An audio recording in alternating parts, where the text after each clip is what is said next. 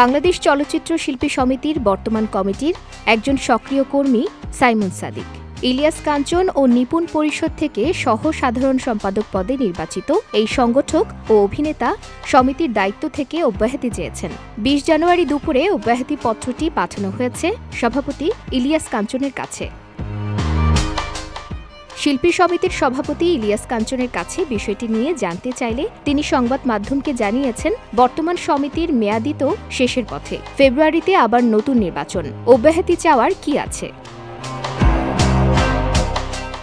সাইমনের অভিযোগের কথা তুলে ধরলে কাঞ্চন বলেন, সাইমন নিজেও তো কমিটির গুরুত্বপূর্ণ নেতা। যেসব বিষয়ে এখন তিনি কথা বলছেন, সেগুলো তিনি কমিটির মিটিংয়ে বসে বলেননি কেন? সমিতির পক্ষে তারও তো সিদ্ধান্ত নেয়ার এখতিয়ার আছে। এগুলো তো তিনি কখনো উপস্থাপনই করেননি। উনিশ জানুয়ারি দেশের প্রেক্ষাগৃহে মুক্তি পেয়েছে তিনটি ছবি। যদিও নিয়ম আছে, উৎসব ছাড়া একসঙ্গে দুটি ছবির বেশি মুক্তি দেয়া যাবে না। মুক্তি পাওয়া তিনটি ছবির মধ্যে ভারতীয় ছবি হুব্বা পেয়েছে ষাটের বেশি প্রেক্ষাগৃহ। অন্যদিকে সাইমন অভিনীত ছবি শেষ বাজি পেয়েছে উনিশটি প্রেক্ষাগৃহ আর চয়নিকা চৌধুরীর ছবি কাগজের বউ পেয়েছে মাত্র আটটি হল।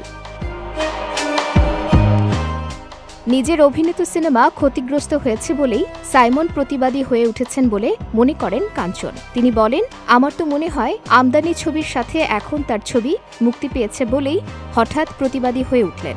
না হলে আগে কেন তিনি এই বিষয়ে সোচ্চার হলেন না? তিনিও তো গুরুত্বপূর্ণ নেতা, তিনি আগে নিষ্ক্রিয় ছিলেন কেন?